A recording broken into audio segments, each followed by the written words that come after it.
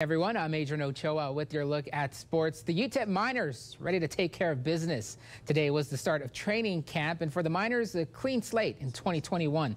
Dana Dimel begins his fourth season as UTEP's head coach, trying to build off a three-win season last year. Now, UTEP was only able to get through eight games due to COVID-19. A lot of veterans coming back this season, so the experience is there, but so too is the pressure to win.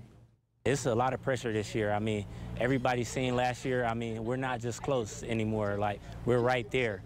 And now we got to go in and finish those games and get those wins. So it's, it's pressure to win those games this year for sure. So it's a big day for our team, and, and uh, we were so looking forward to this. And, you know, obviously you want to execute and be on point the whole day. And, you know, I was, I was pleased with our effort and where we were today, and we'll try to clean some things up. We're going to have a short turnaround. We'll be back at it tomorrow morning.